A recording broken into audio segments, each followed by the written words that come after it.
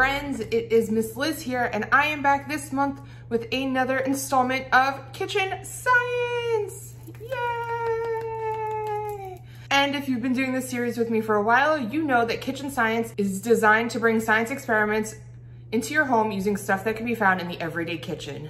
This month we are going to be studying plate tectonics. So what's plate tectonics, you might be wondering? Plate tectonics is the movement of the Earth's crust that leads to the formation of volcanoes, mountains, and oceanic trenches. So by using just two simple things that can be found in the home, we are going to look at plate tectonics and see just how these things are formed. So to get this experiment started, you're going to need a few things that you can find around your kitchen.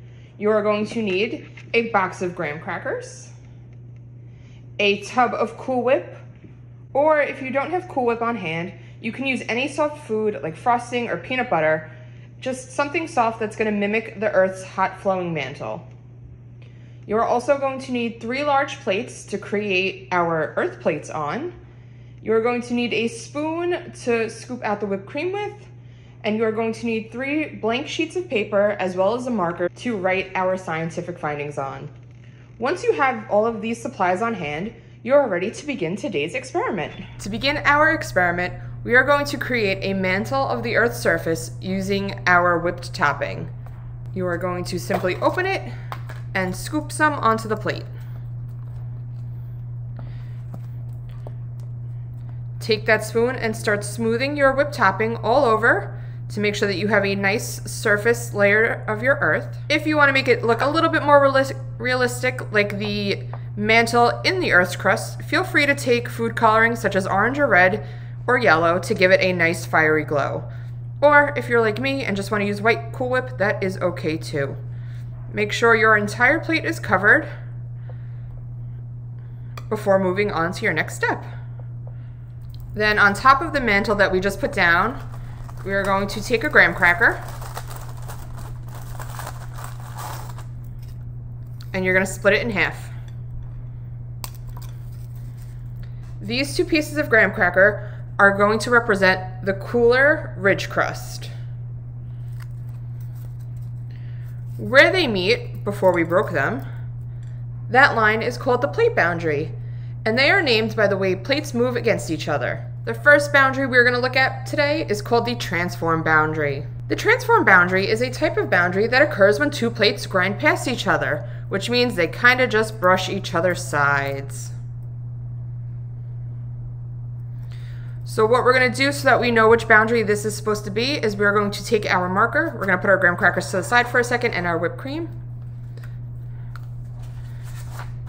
And we're going to take one of our sheets of paper and we're going to write transform boundary so that when we put our plate down, we know what this one is.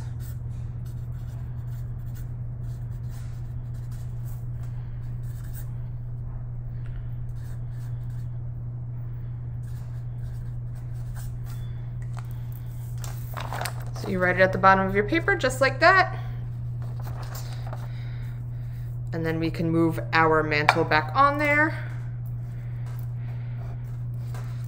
And now we're gonna put our plates on our mantle and we are going to mimic what it's like for a transform boundary. So taking two fingers, you are just gonna kind of grind them up and down. Move them slowly up. Move one slowly down.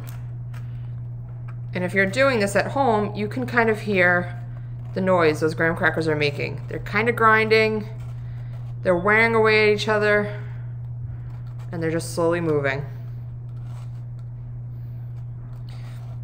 As you're doing this, not only notice the sound that they're making, but notice how it feels when you're pushing them together. Is it moving smoothly? Is it kind of getting stuck? Is it taking a little bit longer than you thought it would? If your plates are moving like mine, they're kind of gritty. They're moving, they move nicely, but they are wearing away at each other. And over time, they'll start to get, those edges will start to get smoother and less jagged. On, let me tell you a little bit more about these transform boundaries. As the plates move in opposite directions slowly, they grind past each other and occasionally they get snagged on one another. So if you find that your graham cracker plates are getting a little bit harder to move because they're getting caught on each other, that is totally normal. As the pressure builds, the plates will finally slip and they release a jolt of energy. And do you want to know what that energy feels like for us on Earth? It feels like an earthquake. If you want to keep playing with your transform boundary, by all means, please do. Feel free to pause this video. I'm going to move on to the next boundary, and you can always come back and play more. Or if you're ready to move along with me, you're going to grab another plate and we are going to create another mantle. So for our next boundary, we are going to make a divergent boundary. So make sure to grab your piece of paper and your pen or marker or crayon or whatever you're using and write divergent boundary on it so that we know that this is what this plate represents.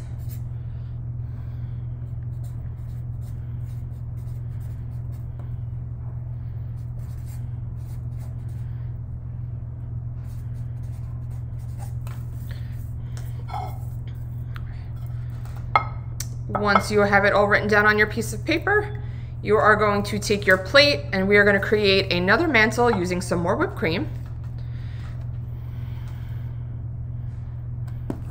So once again, just plop it on down there and make sure to cover the base of your plate.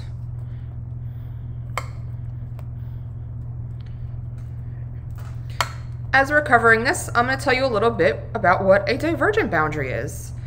A divergent boundary occurs when two plates move away from each other. So using graham crackers again, we are going to mimic this while pulling graham crackers apart. So you're going to break this apart again.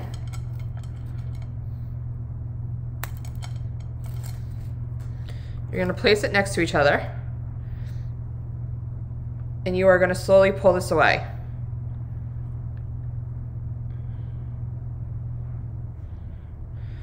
And as you're pulling this away, do you notice anything that's going on? Take a look at those sides. Did some of that whipped cream that was in the middle ooze out onto the top? It should have, because that's what divergent boundaries are known for. You can also do this by pulling your plates up and down away from each other. As you're playing with this, Go slowly, go fast, see if that affects how much of your whipped cream oozes around. Most active divergent boundaries occur when two oceanic plates move away from each other. Hot magma flows up where the plates separate, so this is where our hot magma would be, right here in this middle, and they form large underwater lava flows and create a new seafloor and even volcanic islands. So notice what's going on with that guy, keep going. And what's great is that if your magma is gone, you can just lift up your crackers take your spoon and reset your plate.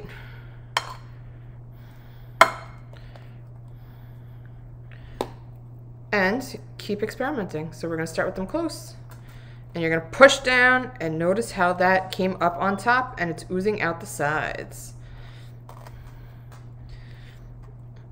If your graham cracker breaks while you're doing this, like mine just did, that's okay. That is just, again, science to show you how the plates may break on the Earth's surface because over time they do wear down and they do break away and they do form their own boundaries. So if yours break, that's okay. Actually, you can use those then to create your own movement. And just keep playing with them and experimenting with them. If you want to keep playing with your divergent boundary, please feel free to pause this video and come back when you're done.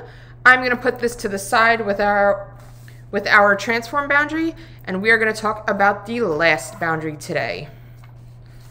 The last boundary we're going to talk about today is called a convergent boundary. These are the final type of boundary, and they occur when two plates move towards each other. So, once again, you're going to take a nice scoop of whipped cream, put it on your plate, and push it all around to create that mantle.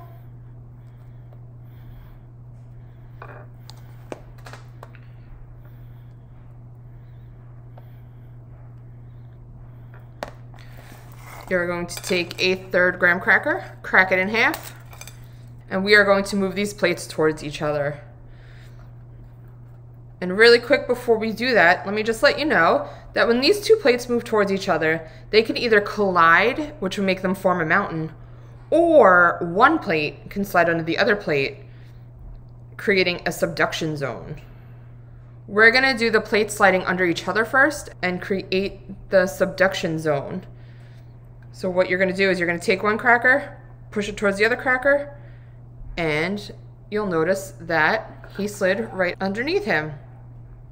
Now can you do it with the other cracker and make this guy go on top? You might have to wipe some of the whipped cream off, that's okay. And we're gonna create that. And this tectonic plate covered this tectonic plate. Now, if you want to see how mountains are formed, you're going to take another graham cracker. First, you're going to wash your hands, actually. And then we're going to form some mountains. To create our mountain plates, you're going to need the help of some water. So feel free to grab a bowl or a cup of that. And also what I realized when I was washing my hands was I never made our sheet for what plate boundary this was. So I'm going to write that down really quickly. If you caught my mistake and you already did your sheet, good job, scientist, because I totally forgot.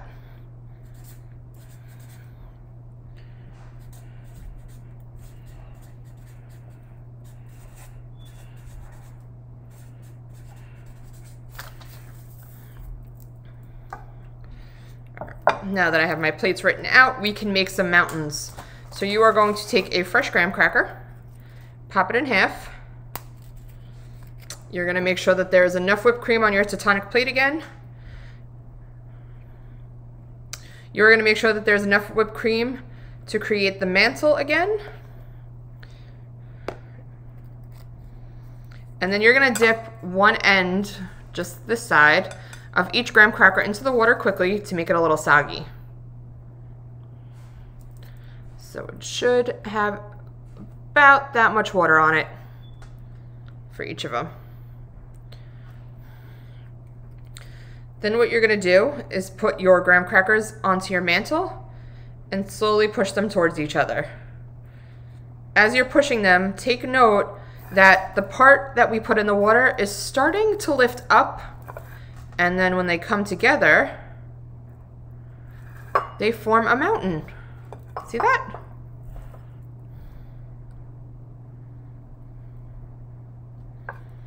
Now you can continue to keep pushing them together. The more you push, the higher that mountain is gonna go.